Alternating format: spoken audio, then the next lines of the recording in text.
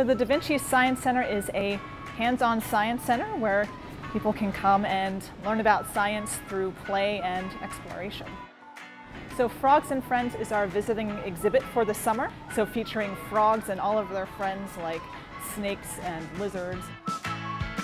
So you get to kind of observe these animals in their natural habitat, learn how they interact with some of these other friends. So snakes might not necessarily be a frog's friend, but we learn how those two might interact together.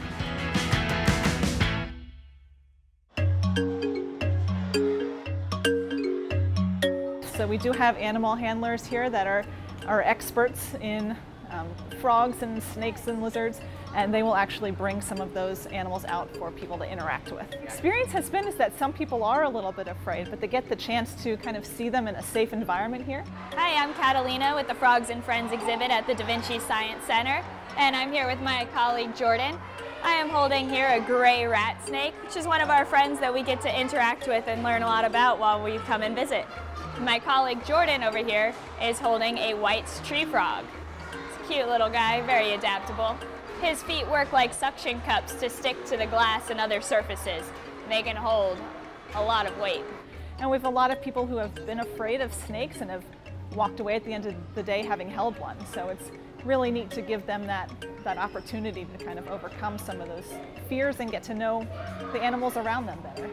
Stick your arm out straight straight and tall, like that.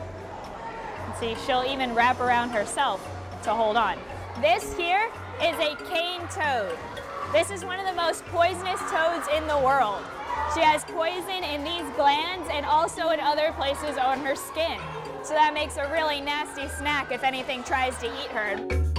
So this is a Kenyan sand boa. He's a little baby, just a couple months old, right? They're from Kenya, and what they do is they actually burrow into the sand. You guys want to pet him? And if you notice, his tail's a little bit more rougher. That's to keep, to help him burrow.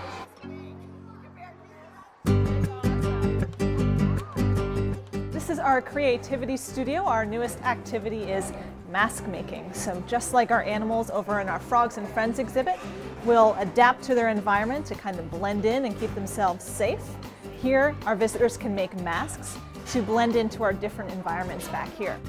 So we have a mock frog dissection here. So this is what we do with our visitors on the exhibit floor mm -hmm. to help them understand the inner workings of frogs a little bit better. They can actually see the organs that are inside of frogs and can compare them to those they might have in the human body too, because there are some similarities there. There is something about having something tactile, something you can hold, feel, and see the shape of that is really instructive and actually get the real shape and size of things, scale, scale. So the educators are guiding them through it, but we like them to kind of go through and explore first and see if they can put it together themselves. Right.